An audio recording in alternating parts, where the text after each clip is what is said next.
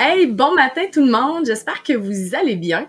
Aujourd'hui, je reçois au podcast les entrepreneurs d'ici Caroline Lessard de Caro Coaching. Bon matin, Caro. Salut! Pour ceux et celles qui me connaissent pas, je suis Roxane La Liberté, présidente fondatrice d'événements dynamiques et je suis coach en diffusion en ligne. Puis aujourd'hui, tu peux voir qu'on est avec StreamYard pour faire notre live Les entrepreneurs d'ici. Donc là, aujourd'hui, si tu connais pas trop c'est quoi le concept des entrepreneurs d'ici, c'est que je mets de l'avant un entrepreneur du Québec. Et aujourd'hui, c'est Caroline Lessard qui vient nous parler de son histoire. Caroline, dis-moi, comment est-ce que ça a commencé, ton désir de l'entrepreneuriat? Ben, ça a commencé avec un livre que j'ai lu. Donc, j'ai lu le Why Café et il y a une phrase là-dedans qui m'a marqué. C'est échanger son temps contre de l'argent. Hmm. Et c'est ce que je faisais. J'étais salariée depuis 21 euh, ans dans le domaine de l'aéronautique. Et ce, concept-là, d'échanger du temps contre de l'argent, là, ça me semblait plus un bon deal. Ça me tentait plus de faire ça. OK. Donc, c'est ce qui m'a attiré vers l'entrepreneuriat. Donc, l'optimisation de ton temps pour rentrer plus d'argent. Oui, exactement. en fait, euh, d'avoir d'avoir la possibilité d'avoir un effet multiplicateur, de développer un produit, un service euh, en ligne et de pouvoir euh, le revendre à répétition pour générer de l'argent sans nécessairement avoir à travailler plus pour euh, développer ce produit-là je te, rap, je te rappe ça vraiment rapidement. oui, c'est ça. C'est assez short and sweet. Parce que ça a l'air merveilleux, puis ça a l'air qu'on n'a plus besoin de travailler, mais c'est tellement pas vrai. Il y a tout le gros travail de marketing qui est en arrière de tout ça. Toute la gestion des gens avec qui on travaille pour les médias sociaux, que ce soit pour la planification. Tu sais, toi, tu fais des camps d'entraînement. Là, tu vas nous dire un petit peu c'est quoi que tu fais en fait en affaires, parce que c'est pas tout le monde qui te connaît ici. Là, présentement, on diffuse sur la page Facebook Professionnel Événements Dynamiques Service aux entreprises. On est aussi sur le groupe Facebook Entrepreneurs Planifions notre semaine. Fait qu'il y a peut-être des nouveaux membres qui sont ici qui te connaissent pas. Puis on est également sur YouTube. Fait que si vous êtes nouvel abonné YouTube, ben écoutez, euh, écoutez ça avec plaisir. Vous allez voir Caro, là, pour vrai, on va vous. Hey, j'ai même pas pensé de t'offrir. Tu aurais pu diffuser sur ma page professionnelle également. Ben oui. Ben écoute, pendant que je parle, si tu veux, si tu es capable d'activer ça. Je vais, euh, ben, je vais faire ça. Let's ben, En fait, je ne pourrais pas le diffuser en direct, mais par contre, ce que je vais faire, c'est que je vais aller le partager sur ta page. Au moins, il va y avoir de l'action. Fait qu'écoute, pendant que je fais ça, je t'invite à nous expliquer comment te starter ta business. Oui, pour ben, ceux qui sont nouveaux. Suite à, l'inconfort que je, que je ressentais face, l'insatisfaction face à mon emploi de salarié, euh, j'ai tout, tout s'est aligné dans ma vie pour me diriger vers l'entrepreneuriat. Donc, je ne suis pas issue d'un milieu entrepreneurial. Moi, mes parents étaient salariés, ma famille, les gens que je côtoyais, mes amis. Donc, j'étais vraiment pas en contact avec ça. Puis, euh, tout s'est aligné. J'ai euh, eu vent d'une formation qui s'appelait Vivre de sa passion. Et ça m'a vraiment parler. J'ai suivi cette formation-là. Il y avait un module euh, démarrage rapide. J'ai suivi les étapes 1, 2, 3. J'ai eu des clients immédiatement et j'ai développé mon entreprise sur le web. C'était ça ma vision. Et on se ramène en 2016, quand moi j'ai commencé mon entreprise. Là, maintenant, c'est populaire. Hein. La COVID a amené énormément ça. Donc, la pandémie, beaucoup d'entreprises ont percé sur le web on peut dire maintenant que j'étais visionnaire parce que déjà en 2016, moi, j'étais 100% virtuel. Donc, j'ai développé une entreprise. Je suis entraîneur virtuel de triathlon et de course à pied. Et maintenant, j'ai au-dessus de 700 athlètes euh, dans la province de Québec. Même j'en ai eu à l'extérieur, euh, en France, en Belgique, euh, même à Madagascar. Donc, dans, la, dans la Tu fais le tour du monde, dans le fond, avec, tes, avec tes athlètes. Yes, exactement. Ben, C'était ma vision au départ pour moi, euh, je vais te parler de ma mission ensuite, mais pour moi, c'était ma vision, c'était d'avoir des athlètes un peu partout, puis éventuellement d'aller les entraîner sur place, donc de voyager en même temps que je vis de ma passion. Je suis moi-même euh, triathlète et euh, coureuse depuis plus de dix ans. Puis ma mission, j'en ai deux. Ma première mission, c'est de motiver et d'accompagner les sportifs débutants à atteindre leur première ligne d'arrivée en triathlon et en course à pied. Donc ça, ça me tient énormément à cœur. J'adore travailler avec les débutants. Euh, ils vivent des succès très, très, très rapidement. Euh, souvent, ils ne croient pas en eux et ça, ben, c'est mm-hmm. mon super pouvoir. que moi, c'est très valorisant comme, euh, travail quand tu les vois réussir. Hein? Oui, énormément. Puis moi, c'est mon super pouvoir, c'est que je crois en toi jusqu'à temps que tu y crois toi-même. Je t'ai parlé de deux missions, j'y vais aussi avec la deuxième, c'est que j'encadre et je prépare les sportifs confirmés à dépasser leur performance rêvée aussi en triathlon et en course à pied. Donc, les gens qui ont une certaine expérience, ben, je les aide à aller plus loin. Cool. Et moi, là, ça me fait triper parce que je te vois aller, hein. Parce que tu as un groupe Facebook, justement, qui s'appelle Ma première ligne d'arrivée. Et là, je suis plus où placer mes cheveux, je m'excuse un matin. moi, je me, me regarde pas, je regarde la caméra, fait que je me dis les cheveux, ils feront ce qu'ils veulent. ah, mais quand ils sont propres, propres, propres, là, fraîchement lavés, là, ah, ils n'ont pas de corps, sont. Ouais, j'ai la même affaire que toi, je viens d'aller prendre ma. fait que les, si vous nous regardez en ce moment, on est propre, on vous assure. Ben écoute, ben justement, ceux qui arrivent dans le live, euh, salut tout le monde. N'hésitez pas à commenter, à nous dire un coucou, puis à nous dire si vous avez déjà une expérience en tant qu'athlète. Tu sais, athlète, là, même si tu as fait un petit euh, un kilomètre et demi, un petit peu de natation, tu es un athlète pareil, là. Ben, en, devenir, tu sais. Moi, j'ai banni dans, mon, dans mes groupes puis auprès de mes athlètes, j'ai banni les mots juste et petit. Donc, il n'y a pas de hmm. petits kilomètres, hein, il y a des kilomètres, il n'y a pas de j'ai fait euh, juste telle distance. Il, y a juste des, il y a simplement des distances. Donc, on n'est pas, ne soyons pas réducteurs. Donc, soyons fiers de ce que l'on a accompli. Pour quelqu'un qui avait jamais couru, jamais marché, ben faire un kilomètre, c'est un exploit, c'est super. Pour quelqu'un qui en fait déjà, qui fait des demi-marathons, ben, d'améliorer son temps de 3, 4, 5 minutes parfois, c'est super. Moi, pour moi, c'est le même exploit. Puis tu sais, Roxane, la définition d'un athlète dans le dictionnaire, c'est quelqu'un qui pratique un sport. Ah, c'est tout? Point. Ouais, c'est juste ça. fait que là, dans le fond, je vais juste courir, jouer au soccer avec mon enfant. Là. Ben, on s'entend régulièrement. Mm-hmm. Je suis une sportive, je fais du soccer. Exactement. Tu T'es un athlète. Yeah! Yay! hey, on est avec nous ce matin Stéphanie Vachon qui nous dit Vous êtes belle. Oh. Merci. On a aussi Sonia Toin qui est là, qui nous fait dire salut, salut.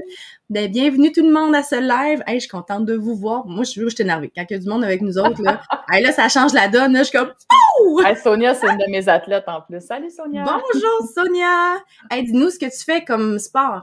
Moi, je suis curieuse, dis-le pas, Caroline. Non, non, je vais le dire. Ouais, j'avais compris que tu demandais à elle et non pas à moi. Nancy Alain est avec nous ce matin. Bon matin, les filles. Caro, tes cheveux sont beaux. Ça pousse, ça pousse. Ouais. vas être dû pour une, une, tonte, là. T'es dû pour une tonte? T'aimes ça les garder courts, en fait, tes cheveux? Ben, pour que je sois capable de les attacher. OK. Ouais. Pour le sport, euh, c'est l'idéal, mais quand ils sont de longueur, d'être attachés, je les attache tout le temps parce que sinon, ils m'énervent. Bon, que... Oui, c'est ça. Tu veux être capable de courir sans voir les cheveux qui te tombent d'en face euh, et tout ça, là, tu sais. Sinon, c'est une histoire de barrette ou de. Ah, tu sais, c'est. Euh. On a Marianne Brière aussi qui est avec nous ce matin. Bonjour, Marianne. Hey, question. C'est aussi une de mes athlètes que je salue. Puis j'attends les nouvelles de ton 10, ah! Marianne. Donc, ça, Marianne Brière, euh, dis-moi si elle transporte. Écoute, là, je dis n'importe quoi, Marianne, hein, lance-moi pas des roches, mais je sais que t'es agroforestière. Fait que trimballer des bûches puis trimballer des troncs d'arbres, là, c'est un sport? ah, mais il y a, des. Euh, il y a euh, une compétition qui existe, le lancer du tronc d'arbre. Je pense que en Écosse ou avant. Hein? Peut-être que Marianne, euh, elle connaît ça. je plaisante. Tu nous diras ça, Marianne. Euh, donc, Nancy nous dit c'est son 379e jour. à ta peu, Il y a une affaire qui me bug. OK? Je vais juste mettre de la couleur dans les affaires que je vois. Voilà. Ah, ouais. c'est, ouais, parce que blanc sur blanc, ou même celui-là. Blanc sur blanc, c'est ordinaire. ouais, c'est ça. Donc, elle dit c'est son 379e jour qu'elle fait 4 fois 50 push-ups, skin-up ou chin-up? Skin-up, squats et une minute de planche. Hey, t'es une machine, Nancy. Pour vrai, là, bravo. Moi, je fais deux push-ups à date. Mais tu sais, petit train va loin, hein, comme on dit, on commence avec quelques push-ups et tout ça, puis ça va. Nancy nous dit aussi, je te comprends, Caro, les cheveux courts, c'est le fun. Ouais. Stéphanie, Caro, j'aimerais être ton athlète, j'adore le spinning. Est-ce qu'il y aura une classe cet automne? Oui, absolument. Donc, les, pour répondre à la question de Stéphanie, les entraînements virtuels de vélo vont reprendre à la mi-octobre. Donc, je suis en période d'inscription présentement. En fait, les inscriptions commencent aujourd'hui. oh yes! C'est où qu'on peut s'inscrire? on peut s'inscrire sur le carocoaching.ca dans la section groupe. Donc, dans la section groupe, vous allez retrouver toutes les informations euh, sur ben, justement les entraînements virtuels de groupe. Il y en a à vélo, il y en a à la course, il y a de la musculation cette année. Puis, on peut aussi prendre un bundle de tout ça. Hein. Pour ceux qui veulent le, buffet complet, all you can eat, ben, j'ai mis des options qu'on pouvait tout, choisir. Ah, parce qu'on me l'a demandé. Puis là, je viens de vous mettre le lien euh, en commentaire, donc carocoaching.ca slash programme groupe. Donc, euh, n'hésitez pas si vous avez besoin, vous cliquez sur le lien pour aller vous inscrire. Euh, donc, Marianne nous disait que... Attends un petit peu. Mon Dieu, il y en a du commentaire matin. Yeah, yeah, c'est cool. Ah, ça a disparu. Oh non. C'est bizarre. OK, il y a eu une erreur. Wait a moment, then try again. En tout cas, on verra bien ça. Mais euh, oui, donc, j'ai vu son commentaire à Marianne qui disait que oui, il y avait vraiment une discipline pour le lancer du tronc d'arbre. Donc, ah, ben, j'ai dit que oui, il y a des compétitions de bûcherons. oui, c'est ça. Couper le plus rapidement à la hache, à la scie, à deux, euh, etc. Exactement.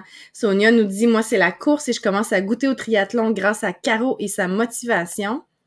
50 euh, chin-up inversés, effectivement. Euh, super et tout ça. Fait qu'écoute, c'est génial. Mais pour vrai, là, je vais revenir au blanc. je préfère au blanc. ah, matin, la fille, elle sait pas ce qu'elle veut. bon, ben écoute, c'est parfait. Fait que là, je vais aussi vous mettre les liens. Mettons, si vous si vous suivez pas encore Caro, je me. Tu sais, à date, je vois que les gens te connaissent bien, là. Mm-hmm. Mais je vais quand même mettre les liens.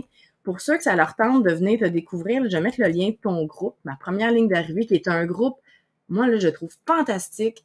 Dans ton groupe, il y a tellement de motivation, le monde, ils s'encouragent entre eux autres. Puis quand tu fais tes camps d'entraînement, là, c'est malade. Ah, c'est malade. Déjà, ce groupe-là, il, a connu euh, depuis la dernière année et demie une. Euh, il a grossi énormément. Et puis non seulement il a, il a grossi, mais il est resté actif. Donc, les gens publient, partagent, communiquent. Il y a des amitiés qui se sont liées. C'est incroyable, vraiment, dans ce groupe-là. Il y a des gens qui ont commencé à s'entraîner ensemble, que ce soit en présentiel, en virtuel. Oui. ça a créé une très, très grande famille de, gens qui s'inspirent et se motivent par le sport. C'est vraiment formidable. C'est merveilleux. Et puis je tiens à dire, là, je t'ai mis le lien du groupe. Si jamais, euh, moi, je suis, bon, c'est ça, je suis exigeant, je suis un entraîneur. Donc, euh, si jamais euh, vous avez, j'ai des pop-up, OK, votant le pop-up, j'ai des pop-up qui arrivent comme ça. Euh, si jamais vous voulez joindre le groupe, donc si vous cliquez sur le lien, s'il vous plaît, répondez aux trois questions. Parce que si vous ne répondez pas aux trois questions, moi, ça me signifie qu'il y a peu d'intérêt pour joindre le groupe. Donc, je ne veux pas avoir un groupe, euh, un groupe garde-robe, qu'on joint et qu'on n'utilise pas. Donc, je veux des gens impliqués. Donc, s'il vous plaît, répondez aux questions si vous avez un intérêt à joindre le groupe. Voilà, c'est dit. C'est dit. Voilà, c'est dit. Fait on revient sur ton, ton titre, ton cadre, ton entrepreneuriat. Toi, l'entrepreneur Caroline mm Lessard. La COVID, tu me dis que ça a été bénéfique pour toi. Oui. Tu as eu ben à tout rechanger ça? Qu'est-ce que tu as changé ton modèle d'affaires qui fait que maintenant, tu es peut-être plus libre ou pas? mais, mais qu'est-ce que tu as changé ton modèle d'affaires qui fait qu'aujourd'hui, tu te sens bien avec ça? Parce que c'est sûr qu'on a tous eu un impact avec la COVID. Là. Moi, j'aimerais entendre ton témoignage à toi là-dessus. Ben, écoute, la COVID n'a pas tellement changé mon modèle d'affaires parce que j'avais déjà une grande partie en ligne. Tout ce que euh, je faisais en présentiel, c'était la natation. Donc, euh, des entraînements et, et, des cours de technique de natation en présentiel. Donc, ça, ça a été arrêté pour un an et demi. Mais ce que j'ai développé, euh, grâce à un coaching d'affaires parce que je voulais rejoindre plus de gens, puis c'est ce côté-là qui était difficile. Est-ce que tu me vois encore? Oui, je te vois encore. Ça lag un petit peu, mais tu es toujours parmi nous, puis on t'entend bien. OK, c'est ce qui est important. Je vais, je vais fermer un paquet de fenêtres, là, parce que là, il me dit que c'est ça le pop-up qui arrive. Ouais. Est-ce qu'ils sont là avec nous? Est-ce que vous nous entendez bien? Si vous nous entendez bien, faites-nous des pouces, s'il vous plaît, juste pour être sûr que tout se passe bien pendant le live. Donc, Nancy nous dit Tout est parfait pour moi. Fantastique. Je reçois une belle, une belle fenêtre depuis tantôt qui dit Votre système a utilisé toute la mémoire allouée aux applications. Donc, fermez telle affaire, fermez telle affaire. donc, Caroline, Là, ça va te prendre une machine de guerre. Avec 10 écrans, tu vas voir tous tes athlètes un par un sur chacun de tes écrans. Ça va être vraiment cool. Ouais, peut-être, parce que je suis en train de faire plusieurs affaires en même temps. Donc, j'ai fermé quelques trucs, quelques applications, donc ça devrait être euh, plus. Euh, Super. Nathalie nous fait des pouces. Bon matin, Nathalie Savard. Probablement oh. de tes athlètes, je pense, Nathalie yes, également une coureuse. Yes. Donc, s'il y a des athlètes qui viennent d'arriver dans la salle, dites-moi en commentaire, c'est quoi vous faites comme sport? C'est quoi? Est-ce que vous faites le triathlon? Un triathlon, l'autre fois, tu nous as dit c'était quoi la définition d'un triathlon? Triathlon, c'est tu fais trois sports. Ouais. ouais, ouais N'importe lequel, mais tu fais trois sports parce qu'écoute, avoir su, je t'aurais demandé cette vidéo-là parce que moi, elle m'a tellement touché la vidéo, ce qu'on voit toi en train de faire plein de sports, plein d'affaires. En tout cas, si tu as le temps de me l'envoyer, envoie-la moi, je vais la partager. Mais j'ai trouvé ça tellement touchant parce qu'on on croirait pas que le sport est si accessible. Mais en fait, quand c'est l'hiver, mettons, l'hiver s'en vient, gang, là, Donnez-moi des sports d'hiver que vous aimez, OK? En commentaire. Moi, là, ce que j'ai vraiment beaucoup aimé quand j'étais jeune, c'était la raquette. Je l'ai autant aimé que détesté. Parce qu'étant jeune, mon grand-papa, il avait les grosses raquettes en cuir, là, tu sais, les grosses pesantes, là. Fait que ces grosses raquettes-là, souvent, je m'enfargeais, j'étais plus capable de me relever, parce que là, j'étais pognée les jambes dans les. En tout cas, c'est une expérience de vie que j'avais bien aimée, ça, puis le ski de fond. C'était deux choses bien le fun, mais tu sais, quand t'es une petite jeune patate, là, moi, je te chubby pas mal, là, étant plus jeune, j'avais de la misère à me relever, tu sais. Mais bon, ça, c'était mes deux sports préférés d'hiver. Puis l'été, moi, j'ai toujours aimé le volley beach, tu sais, le volleyball de plage, là, ça, là, c'est, c'est un sport qui était cœurant, là, pour moi, là, j'aime ça au bout. Puis après ça, on fait des pyramides humaines. Fait que ça aussi, c'est un autre sport, j'imagine. Ben, tant qu'on bouge, tant qu'on bouge. C'est ça, exactement, exactement. Je sais quelle vidéo tu veux parler. J'avais fait ça pour euh, le groupe Puissance. Euh, oui, exactement je sais pas où je l'ai mis. ben écoute, éventuellement, envoie-le-moi, puis je vais le partager sur ma page, comme ça, ça me fait un grand plaisir de, de, donner l'engouement aux gens de regarder, bouge. Parce qu'avec la COVID, en tout cas, moi, dans ma situation actuelle, j'ai bougé, j'ai bougé beaucoup moins qu'avant. Avant, je travaillais à Montréal, donc là, un, oui, je prenais ma voiture ou l'autobus. Donc, l'autobus métro, mine de rien, tu as des escaliers, tu marches, tu cours après ton autobus que t'es en retard. Tu es plus actif. Tandis que là, maintenant que je travaille à domicile, tu sais, je sors de ma chambre, je rentre dans l'autre pièce, je suis rendue à mon bureau. Donc, je moins ça marche, ça marche moins, là. je vais, je vais revenir à ta question, tu me posais avant que ça lague. Oui. Euh, donc, euh, la COVID n'a pas changé tant de choses à mon modèle d'affaires, à part pour la natation que je pouvais plus faire en présentiel. Mais ce que j'avais envie, euh, ce que j'ai fait en 2020, en janvier 2020, c'est que j'ai pris une coach d'affaires. Donc, on a la même coach d'affaires, toi et moi, Cindy Dauteuil, que tu as reçu en podcast, je crois, ou que tu vas recevoir dans les prochaines... Je vais recevoir bientôt. Tu vas recevoir bientôt. Puis, euh, moi, je voulais augmenter mon chiffre d'affaires parce que là, je, je survivotais de ma passion. Puis, tu sais, à un moment donné, c'est bien beau faire ce qui nous passionne, mais faut que ça rende de l'argent pour qu'on puisse en vivre. Donc, j'avais envie vraiment de vivre pleinement ma passion. Puis, c'est au niveau du marketing, j'avais des lacunes. Donc, d'aller chercher des nouveaux clients, de faire le, closing, comme on appelle, donc euh, d'offrir éthiquement mes services et avec mes, valeurs pour que les gens achètent. Puis, euh, c'est ce que j'ai travaillé avec elle et ça l'a porté fruit. Donc, euh, pour attirer des clients, c'est ce que tu parlais tantôt, j'ai développé des camps d'entraînement. Donc, dans la dernière année, j'ai offert six camps d'entraînement, euh, non seulement à mes athlètes, mais aussi euh, aux gens, à toutes les gens qui, étaient, qui, avaient un intérêt et qui voulaient goûter aux entraînements virtuels avec moi. Puis vraiment, là, on a triplé, ça a fait exploser ma communauté, mes clients, mes athlètes. Mm-hmm. Il y a des, comme je disais tout à l'heure, il y a des liens fascinants qui se sont liés, les gens entre eux, euh, développer de camaraderie, euh, de la motivation, de l'inspiration, du dépassement de soi, de la détermination, de la persévérance, de la passion, des défis, de la fierté à accomplir des rêves. Donc, on, est là-dedans, toute la gang, tous ensemble. Est-ce que tu me permets de montrer de quoi ça a l'air ton groupe en première ligne d'arrivée? Ben oui, absolument. Parfait. Donc, je vais vous montrer ça. Regardez bien ça. Share screen, ici. Là, il n'y a rien de compromettant. Ça devrait pas. Quand on montre de quoi sur Facebook, des fois, là. C'est live, c'est les, les... C'est live, le voilà, c'est live. Donc, euh, pour que ça soit clair pour vous, regardez ça. Déjà, tu rentres là, puis tu as ta propre ligne de vêtements en plus, tu as développé ça. Euh, je sais pas si ça date de cette année, deux, trois ans peut-être. Non, c'est euh, en 2017, donc c'est ma deuxième année en, affaires que j'ai développé la ligne de vêtements. On me le demandait, puis c'est une belle façon de s'identifier dans les événements, de ben se reconnaître. Exactement. Puis là, on peut voir qu'il y a des athlètes dans ton groupe qui, dans le fond, là, les athlètes, dès que tu es dans ton groupe, on peut publier nos réussites, nos résultats, nos accomplissements, de ce que j'ai mhm. compris avec le temps. Fait que ça, ça, donne un push parce que les gens ils t'encouragent, ils disent Hey, bravo, vas-y. Tu sais, c'est. C'est gratuit en plus, l'encouragement qui est dedans. Là, les gens, ils sont tellement motivés, ils sont tellement euh, get together. Qu'est-ce que je veux dire par là? Je cherche le mot. Ben, c'est. Mais on s'automotive, on s'entraide, on, se garde. Euh, exactement. Puis, tu sais, à la différence de. Puis, on m'en a déjà parlé, là, moi aussi, je l'avais constaté. À la différence de d'autres groupes d'entraînement de course à pied. Ouais. C'est tout dans le respect. Donc, la personne qui va marcher à 15-20 minutes du kilo, puis la personne qui va courir à 4 minutes du kilo a le même respect, les mêmes encouragements, tout le monde est content de la progression de la personne par rapport à elle-même.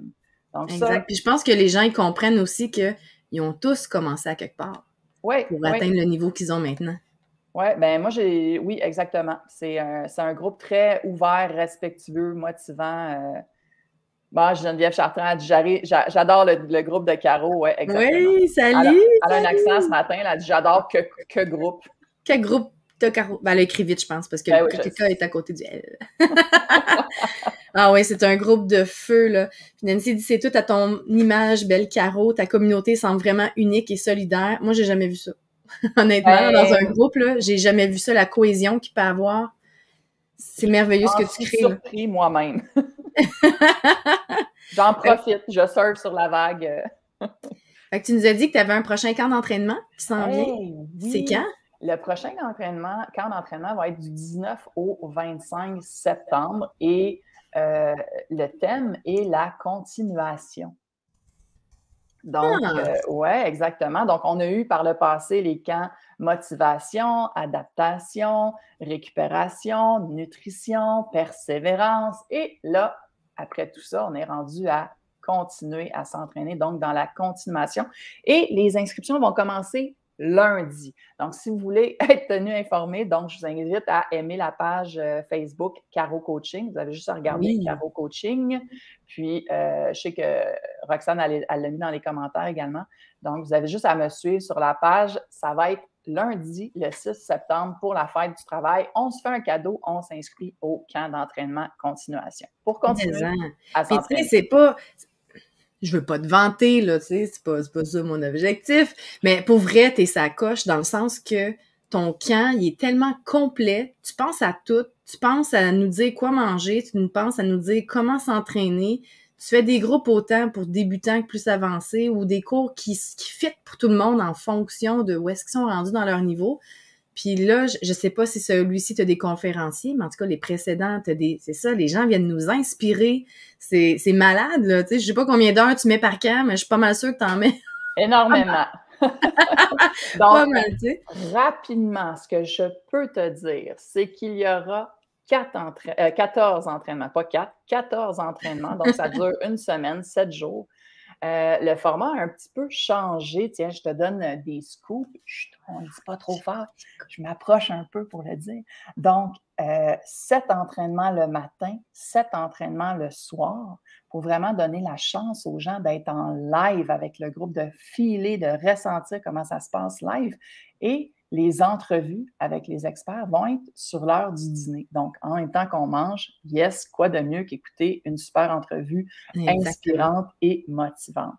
Également, ce que tu as mentionné, les, euh, le menu revient. Donc, une menu de 7 jours, déjeuner, dîner, souper avec les 21 recettes revient encore pour ce camp d'entraînement-là. Ça, c'est très apprécié. On n'a pas besoin de penser à qu'est-ce qu'il faut manger. On a la recette. tu le traiteur encore?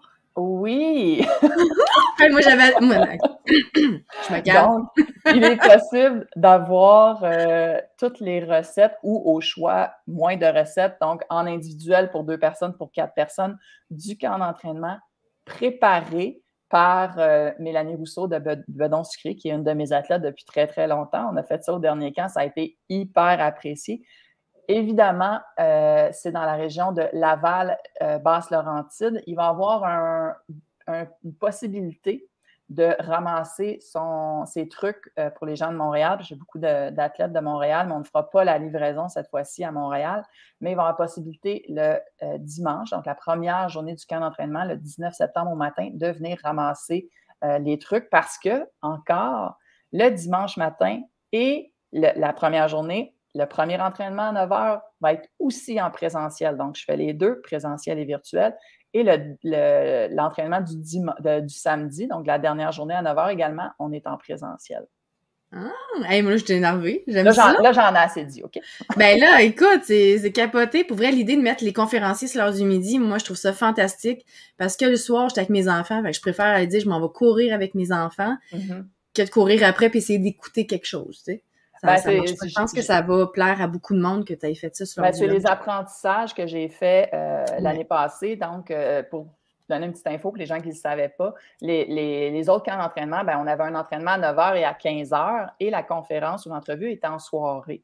Mais il y a beaucoup de personnes que 9 à 15 heures, ben, ils ne pouvaient pas participer aux entraînements live. Donc, c'est ça l'idée, c'est de changer l'heure de l'entraînement, de le mettre en soirée, un en matinée, un en soirée, plus d'accessibilité. Puis en faisant la conférence sur l'heure du midi, bien, comme tu as dit, on peut, joindre l'utile euh, à l'agréable, donc euh, manger, prendre notre pause, écouter quelque chose de super inspirant. Et j'ai tellement des belles personnes en entrevue, ça va être malade! Là, tu es en train de nous montrer, OK, qu'en tant qu'entrepreneur, il faut être malléable, il faut apprendre, il faut être très à l'écoute, en fait, de nos clients, de, des personnes qui nous suivent, tout ça, parce que si on n'est pas malléable, si on ne se transforme pas, ben on, part on passe à côté des occasions. Fait qu'en tant qu'entrepreneur, moi, je pense que ça, c'est une clé forte que tout le monde doit détenir, d'être capable de regarder, d'analyser, puis de changer, puis de remodeler pour être sûr d'aller chercher le plein potentiel de ce qu'on offre. Bien, deux choses super importantes, ce que tu viens de dire. Donc, il faut servir notre client ben, selon ses besoins, selon son horaire selon, et également, il faut respecter nos valeurs. Donc, il faut absolument faire les deux parce que si vous ne faites que servir vos clients, ben, vous ne serez pas content. si, au dépit, euh, puis je l'ai fait par expérience, euh, il y a une année où euh, je travaillais à tous les soirs, donc trois soirs par semaine, j'offrais des cours privés en natation. Et deux soirs semaine, c'était des cours de groupe. Et ben, ma famille en a pris un coup, mon conjoint, c'était difficile. Je n'étais jamais là les soirs. Donc, de faire ça sur une période de dix semaines. Donc, j'ai remodelé pour en offrir quelques fois, puis que ce soit plus aligné avec ben, mon désir de liberté, de partage, de passion, de famille. Donc, que ce soit justement aligné avec nos valeurs. C'est toujours un équilibre.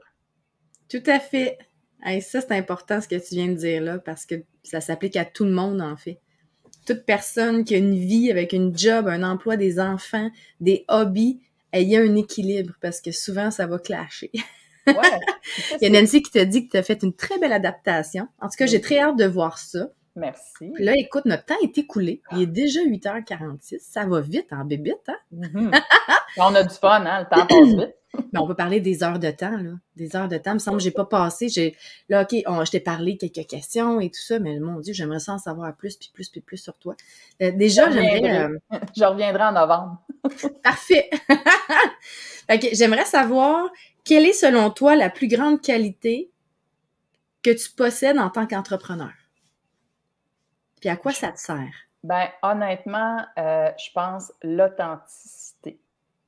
D'être moi-même fait que ben, j'attire des gens qui euh, ont cette connexion-là euh, avec mes valeurs, avec mes passions, avec qui je suis. Euh, donc, en étant pleinement moi-même, ben, il n'y a, pas, a pas de masque, il n'y a pas de faux semblant. C'est vraiment what you see is what you get. puis, ben, la connexion se fait. Donc, mes athlètes, les gens que j'attire à moi, ben, sont authentiques, sont passionnés, sont intègres, euh, ils ont un bon sens éthique, donc euh, qui se ressemblent, s'assemblent. Donc vraiment, euh, d'y aller en toute honnêteté, avec authenticité, je pense que c'est toujours gagnant. Tu as tout à fait raison. L'authenticité, on va chercher le cœur des gens directement. Oui, parce qu'on établit une connexion. On l'a vu avec la COVID, tout le monde est au courant. Mais moi, en 2016-2017, quand j'ai commencé, puis je disais aux gens, ben non, j'établis vraiment une connexion par la caméra, puis ils me disaient, non, non, non, non, personne ne connaissait ça, il fallait que j'explique tout le temps, c'était quoi Zoom? Ah, ben c'est super. Écoute, je tiens à te remercier énormément d'avoir été là aujourd'hui avec nous. Merci à tous ceux qui ont été avec nous ce matin. C'était capoté. Pour vrai, moi, je tripe quand vous êtes là. Un gros merci. Si vous avez aimé ce live-là, faites-moi des cœurs. Faites-moi des beaux petits cœurs, là. J'aime ça quand c'est actif puis que ça bouge dans le chat partout. Euh, puis, euh, la semaine prochaine, je reçois en entrevue à 8h15 jeudi Nathalie Martin.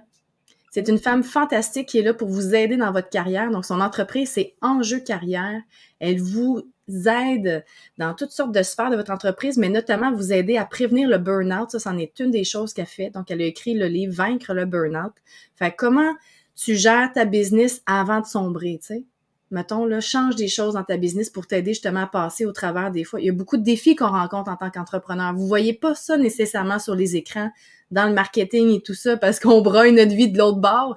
Mais on a envie en maudit des défis puis des choses qui se passent. Mais on vous montre le plus beau qu'on peut pour vous autres pour euh, agrémenter votre vie puis rendre ça vraiment cool. Yes, moi j'ai un de mes coachs d'affaires qui disait c'est fucking beaucoup de travail. Être en entrepreneuriat. Les premières années, non-stop. Après ça, on peut souffler. C'est le temps de tout mettre ça en... C'est le temps de penser à ton modèle d'affaires, de penser à qu'est-ce que tu veux vendre, comment tu veux le faire, mettre tes valeurs là-dedans et tout ça.